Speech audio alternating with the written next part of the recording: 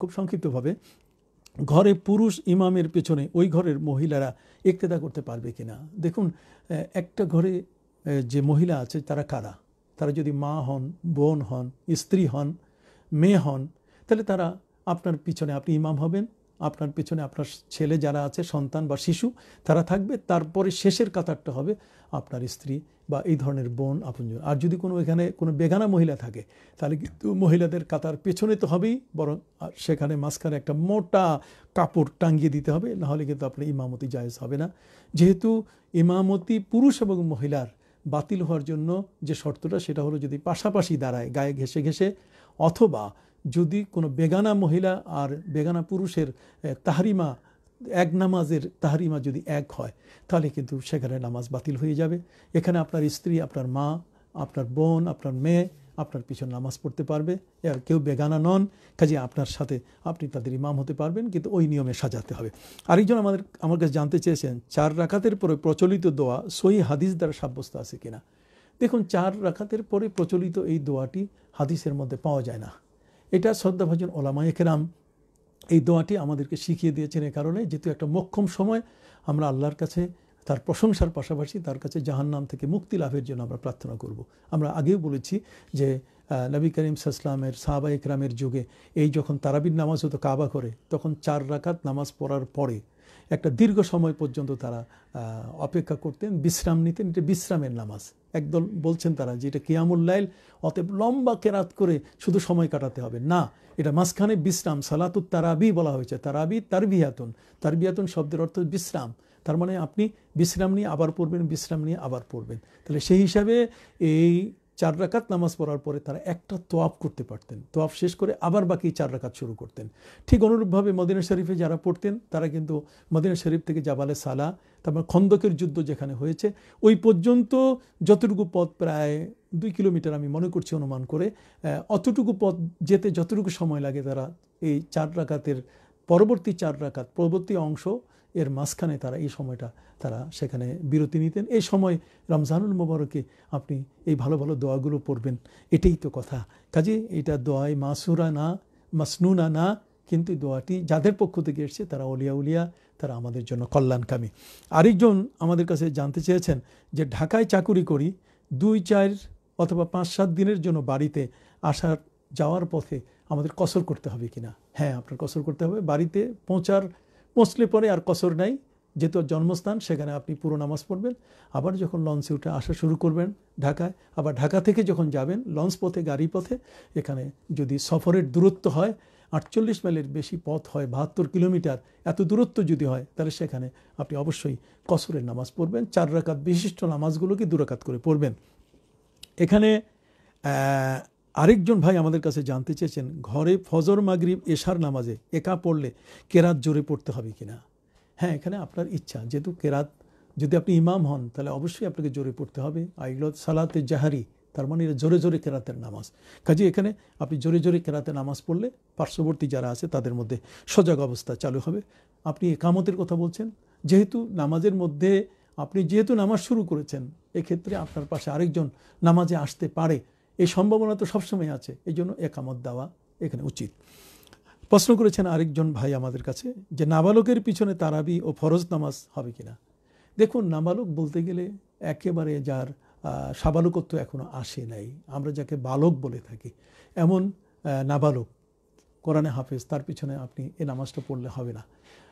ফরজ হোক অথবা সুন্নতে মক্কাদা এই যেটা আমরা তারাবির নামাজ পড়ছি, এটা অপ্রাপ্ত বয়স্ক হাফেজের পিছনে বা এমন কোনো ব্যক্তির পিছনে হবে না, বয়স্ক ব্যক্তি হবে, দরকার। ঠিক অনুরূপভাবে আরেকজন আমাদের কাছে প্রশ্ন করেছেন, আমি উত্তর দিতে চাই, টিভিতে দেখে নামাজ পড়া কি যায় না না, আমরা আগেই, শুরুতেই বলেছি যে টিভি দেখে সেখানে নামাজ কেমনে আপনি ইক্তেদা করবেন? ইমাম কোথায়? আর আপনি কোন জায়গায়? ইমামের আগে যদি মুক্তাদি যায়, তাহলে এমনি নামাজ বাতিল হয়। আর এটা কিসের ইমামতি? আর কিসের নামাজ? এটা কোনো ইমামতিও নয়, এটা কোনো নামাজও নয়। এটা টেলিভিশনের একটা বার্তা। অতএব এই টেলিভিশনের এই বার্তায় আপনি টেলিভিশনের নামাজ দেখে দেখে একতেদা করবেন, এটা শরীয়তে জায়জ নেই। এরপরে আরেকজন জানতে চেয়েছে যে রোজা অবস্থায় ইনহেলার ব্যবহার করা যাবে কিনা। হ্যাঁ ইনহেলার কয়েক প্রকার হয়ে থাকে। কয়েক প্রকার হয়ে থাকে। এক প্রকার ইনহেলার আছে যে আপনি যদি সাহারির সময় ফজরের আগে আপনি নেন, তাহলে সারাদিন থাকা যায় সন্ধ্যা পর্যন্ত। আপনি এই লম্বা সময়ের জন্য যেই ইনহেলারগুলোর মধ্যে এই ধরনের অ্যাকশন আছে আপনি এটা নিতে পারেন। আর ইনহেলার বলতে গেলে যদি আর্দ্রতা না থাকে, তাহলে আপনি সারাদিনের যে কোনো সময় নিতে পারেন। আর যদি এর ভিতরে কিছু ভেজা জাতীয় কিছু থাকে, এটা পেটের মধ্যে যায়, তাহলে সেখানে আপনার রোজা নষ্ট হয়ে যাবে। আরেকজন জানতে চেয়েছেন যে তারাবির প্রথম রাখাতে নিয়ত ও সানা পড়লে হবে নাকি পরের দুই রাখাতে পড়তে হবে? যে না আপনি নিয়ত করবেন। এনে মালা আমালও নিয়ত যে কোনো কাজের সব দেওয়া হয় তার নিয়তের উপরে। পরিকল্পনা ছাড়া কেউ বাড়ি হয়, ঘর হয়, পরিকল্পনা ছাড়া ঘরের বাইরে আপনি কোথাও যান, বাজারে যান, বাড়িতে যান, ব্যবসায় যান কাজেই পরিকল্পনাটাই হচ্ছে নিয়ত। তবে মুখে নামাজের ক্ষেত্রে উচ্চারণ করা উত্তম। এটা ফতোয়ায় দারুল উলুম সহ বিভিন্ন ফতোয়ায় এবং সাহাবা ইকরামের হাদিসের মধ্যে এটা এসছে। নবী করিম সাল্লামের হাদিসের মধ্যেও এই ধরনের শব্দ পাওয়া যায় যে মুখ দিয়ে উচ্চারণ করা। ঠিক অনুরূপভাবে আমার কাছে প্রশ্ন করা হয়েছে, তারাবিতে চার রাকাত শেষে যে দোয়া করা হয়, আমি সেটার উত্তর দিয়েছি। মহিলারা কি তারাবি পড়তে পারবে? হ্যাঁ বাসাতে। হ্যাঁ মহিলারা নিজেদের ঘরে তারাবি পড়বেন। এটা তো রিজাল এবং নেশা এটা সুন্নতে মহাক্কাদা শুধু পুরুষ না, এটা পুরুষ এবং নারী সবার জন্য। কাজেই মহিলারা যারা আছে তারাও কিন্তু বিশ টাকার তারাবি আপনার পড়বেন, খবরদার আট টাকার পড়বেন না। আমরা শুনতে পাচ্ছি আমাদের কানে আসতেছে, এই করোনা ভাইরাসের এই অজুহাত দেখিয়ে অনেকে আবার আট ডাকাত পরে পালিয়ে যায়। এরা কিন্তু ওই বিভ্রান্তির মধ্যেও এখনও পড়ে আছে। আপনারা যারা পবিত্র কোরআন এবং আদিসের সহি বুস আপনাদের মধ্যে আছে, খবরদার, আপনারা তাদের অনুসরণ করবেন না, বরং বিশ টাকার তারাবি পড়বেন। এমনি হাদিসের মধ্যে আছে, ইমামকে রেখে যদি কোনো মুসল্লি চলে যায়, তাহলে তার ইমাম, ওই ইমামকে ছেড়ে যাওয়ার কারণে তার নামাজটি আর সবের উপযুক্ততা রাখে না। এখানে একজন জানতে চেয়েছেন, মহিলারা কি মহিলা ইমাম দিয়ে নামাজ আদায় করতে পারবে? হ্যাঁ মহিলা মহিলা জমাতের মধ্যে যদি কোনো মহিলা ইমামতি করতে চায়, তা তিনি মাঝখানে তিনি দাঁড়াবেন। তবে পুরুষ যেভাবে এক কাতারের দূরত্বে থাকে, একজন মহিলা সে থাকবেন না। এবং তার তকবির যেগুলো হবে, সেগুলো কিন্তু আওরাত খুব নিম্নগামে, যাতে যে কয়েকজন মহিলা পিছনে আছে তারাই শুনবে।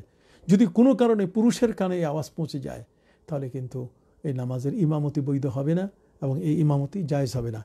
আর বিশেষ করে নবী করিম সাসলাম নিজেও বলেছেন যে কোনো মহিলা যেন কখনো কোনো পুরুষের ইমামতি না করে। কাজী এদের মহিলার পিছনে একতেদা করা যাবে না। রোজার নিয়ত কি ফরজ? কেউ কেউ বলে থাকেন, প্রচলিত নিয়তে নিয়ত করা নাকি বেদাত। দেখুন রোজার নিয়ত কি ফরজ?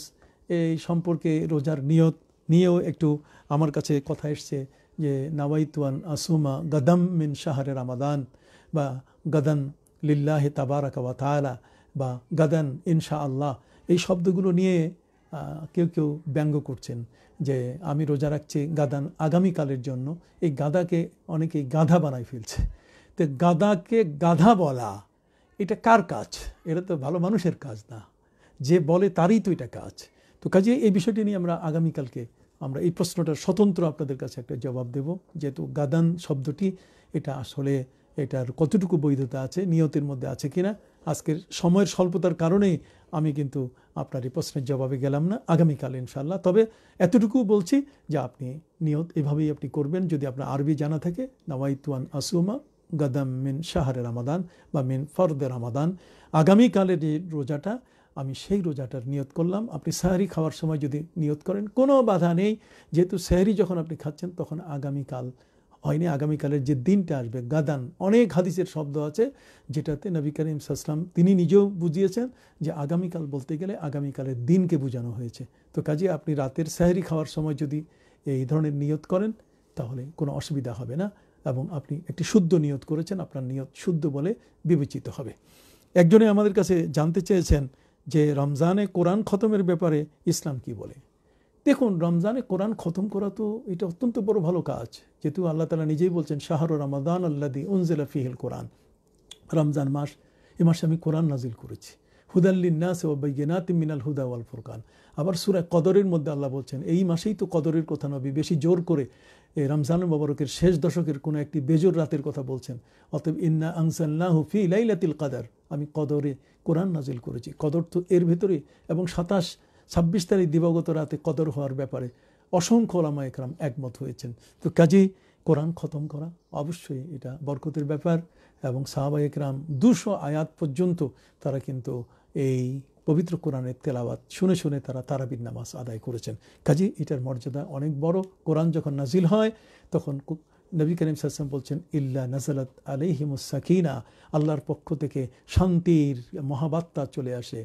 এবং, ওয়া গাশিয়াদ হুমর রাহমা, ওয়া হাপ্পাত হুমল মালাইকা রহমত তাদেরকে পরিবেষ্টিত করে ফেলে ফিরিস তারা ঘিরে বসে। অতএব সেখানে আপনারা করতে পারেন। তবে বর্তমান এই করোনা ভাইরাসের এই কঠিন অবস্থায় আপনারা যদি মনে করেন যে সেখানে বেশি সময় দেওয়া কঠিন মসজিদে বা অন্য কোথাও, তাহলে সেখানে আপনার সুরাত আরবি পড়লেও কোনো অসুবিধা হবে না। তবে কোরআনের মর্যাদা, খতমে কোরআনের মর্যাদা অনেক বড়। ইমাম আবু হানিফ রহমতুল্লাহ আলাই রমজান মাস যখন আসতো, তখন তিনি একষট্টি খতম কোরআন পড়তেন। তার মানে প্রতি তিরিশ দিনে দিনে একবার, রাতে একবার, আর তারাবির জন্য একবার। তাহলে তিরিশ তিরিশ, ষাট, আর একবার তারাবির জন্য একষট্টি বার তিনি খতমে কোরআন করতেন। তাহলে নিশ্চয়ই এটা অত্যন্ত গুরুত্বপূর্ণ একটি বিষয়।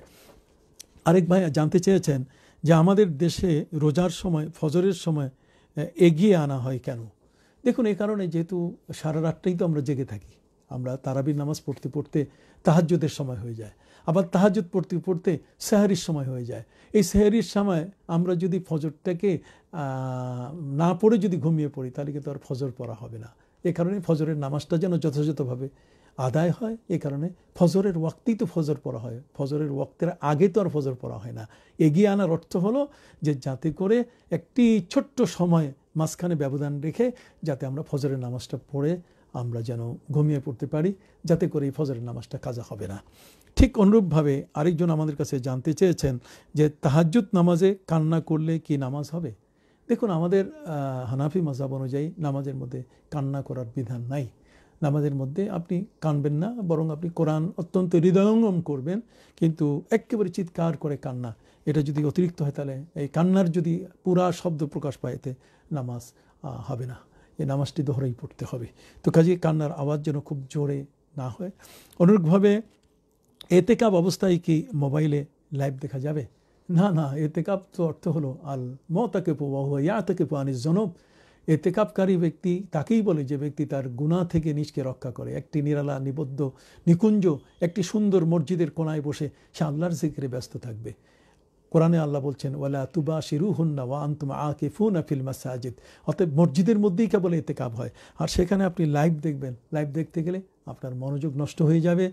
এখন এই মোবাইলগুলোতে অ্যাপস এমন আছে, একটাতে আরেকটায় হঠাৎ করে একজন মহিলার ছবি আসলো। এমন এমন বেমানান ছবি আসলো যে যেখানে আপনার এতেকাবের বারোটা বেজে যাবে এতেকাব আর থাকবেই না। আপনি এতেকাব ধ্বংস হয়ে যাবে, নষ্ট হয়ে যাবে, এগুলো করা যাবে না। কেউ যদি রমজানের সফরে যায় আর রমজানের পরে ফিরে আসে, তাহলে কি রোজা রাখতে হবে? হ্যাঁ আল্লাহ তালা নিজেই বলছেন, ফমান কান আমিন কুম্মারিদান আওয়ালা সফরিন ফাইদ্দাতুমিন আইয়ামিন উখার।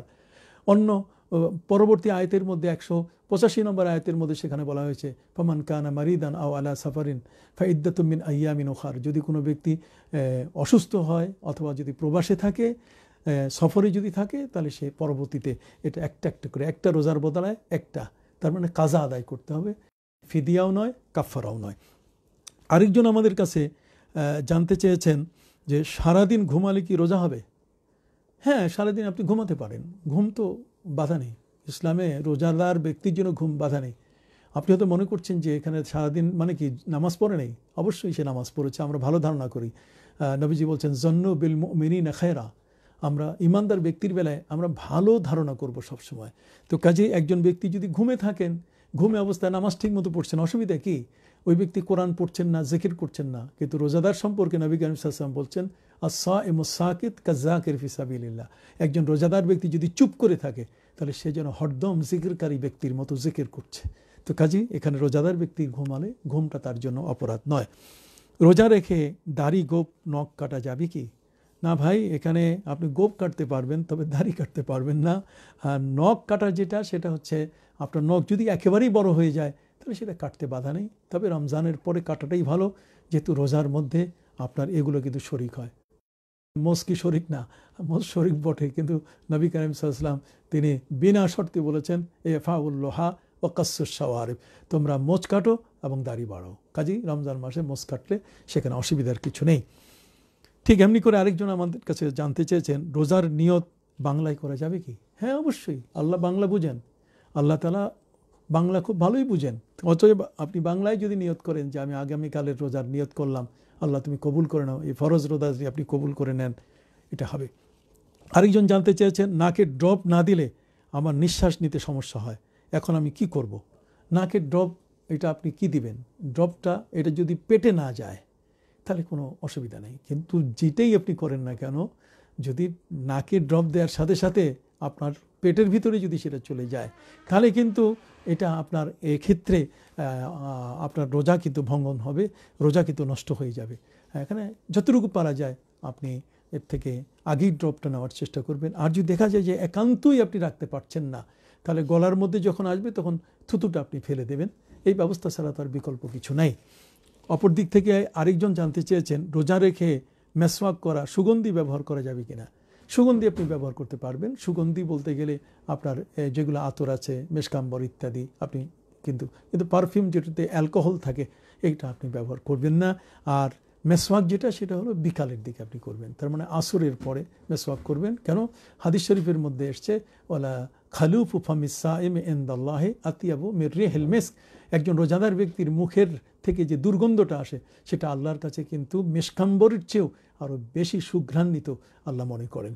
তো কাজেই আপনি মেসওয়াক করবেন। মেসওয়াক না করেও যদি পারা যায়, সবচেয়ে ভালো, আপনি মাগরিবের পরে আপনি ভালো করে খাওয়া দাওয়া আপনি ইফতারি করে আপনি মেসওয়াক করেন, কোনো অসুবিধা নাই। অথবা আপনি মেসওয়াকটা আপনার সেহেরির সময় আপনি সেরে নেবেন। যখন সেহেরির করছেন আপনি ওখানে, খাওয়া শেষ করার পরে আপনি ভালো করে মেজে নিলেন, তাহলে তার সারাদিন থাকল না। হাদিসের উপরে আমল হলো। আরেকজন জানতে চেয়েছেন যে একা একা বাসার নামাজ পড়লে একামত দিতে হবে কি? একা একা আমি আগেই বলেছি যে আপনার কিন্তু নামাজে আরেকজন অংশগ্রহণ করার সম্ভাবনা আছে। আর যদি এমন হয়, কেউ নাই বাসায়, আপনি একা। তাহলে আপনি একা হলে সেখানে একামত প্রয়োজন নাই। আর মসজিদের আজান যেহেতু আপনি শুনছেন, একামত সেখানে হচ্ছে, আপনার এটি যথেষ্ট হয়ে যাবে। আরেকজন জানতে চেয়েছেন, ওয়াক্ত হওয়ার পরে আজান দেওয়ার আগে ফরজ নামাজ পড়া যাবে কি না হ্যাঁ ওক্ত যদি হয়ে যায়, আজান এখানে তো এটা এমনি জমাতের সাথে নামাজ আহ্বান করছে। এখন তো মসজিদে সীমিত পর্যায়ে মানুষ যাচ্ছে। তো কাজে সেক্ষেত্রে আপনি ওক্ত হওয়ার আগে আপনি ওক্ত হওয়ার পরে যদি নামাজ পড়েন, আপনার নামাজ শুদ্ধ হয়ে যাবে। আজান তো অবশ্যই এটা শুনবেন, আজানের জবাব দেবেন। কিন্তু এখন তো মসজিদে যেহেতু করোনা ভাইরাসের আক্রমণ, সরকারের বিধিনিষেধ, ফিজিক্যাল ডিস্টেন্স আমাদের রক্ষা করতে হচ্ছে সীমিত পর্যায়ে লোক মসজিদে যেতে পারছে। কাজে আপনি ওক্ত হওয়ার সাথে সাথে যদি আপনি নামাজটা পড়ে নেন, আপনার নামাজ শুদ্ধ হয়ে যাবে। জানতে চেয়েছেন, রমজানকে যে এ ব্যাপারে সহি হাদিস আছে কি? হ্যাঁ অবশ্যই হাদিস আছে। হজরতে সালমান ফারসি রাদি আল্লাহ হাদিস, সে হাদিসের মধ্যে নবী করিম সাল্লামের এক বিরাট লম্বা হাদিস এসছে। আর সেই হাদিসের মধ্যে আমি শেষ অংশটা বলছি। নবী করিম সাল্লাম বলছেন সাহাবাই কাম বলেন, ইয়া রাসুল আল্লাহ সাল্লাম ليس كلنا ما نجد آه، للصائم ما نفطر به الصائم. قال رسول الله صلى الله عليه وسلم يؤتي الله هذا الثواب على من فطر صائما على مضغة لبن أو تمرة أو شربة من ماء ومن أشبع صائما أشبع من حوزه يوم القيامة ولا يزمع আবাদা হাত্তা ইয়াদুল জান্না ওহুয়া শাহরুন আউআলহু রাহমা ও আউসাতুহু মকফেরা ও আখিরুহু ইতকুহু মিনান্নার ওমান খফাফা আম্মাম রুকিহি সাইয়ান গাফর আল্লাহুলাহু ও আতাকাহু মিনান্নার রওয়াহুল বাইহাকি। এটা বাইহাকি শরীফের একটি হাদিস। অবশ্যই এটা সহি হাদিসে আছে। আরেকজন আমাদের কাছে জানতে চেয়েছেন, ফজরের নামাজের ওক্ত হয়ে গেলে আজান দেওয়ার আগে নামাজ পড়া যাবে কি? আমরা এটার উত্তর আপনাদের কাছে দিয়ে দিয়েছি, অবশ্যই এটা যাবে। তো আজকের অনেক সময় আমার সাথে আপনারা যুক্ত থাকলেন। আমি আপনাদেরকে অভিনন্দন জানাই। আগামীতে আর সময় কম নেব। সময় আপনাদেরকে বসিয়ে রাখব না। ইনশাল্লাহ খুব অল্প। এই আধা ঘণ্টা তিরিশ মিনিটের মধ্যে কোনো আলোচনা শেষ করা যায় কি না? কিন্তু আজকের আলোচনা করতে হয়েছে যে মাসাব বা কোরআন হাতে রেখে, দেখে দেখে তারাবির নামাজ পড়া যাবে কি না? এই বিষয়টির ব্যাখ্যা দিতে গিয়ে একটু সময়ের প্রয়োজন হলো। এই জন্য আমি দুঃখিত। আপনার বিভ্রান্ত হবেন না।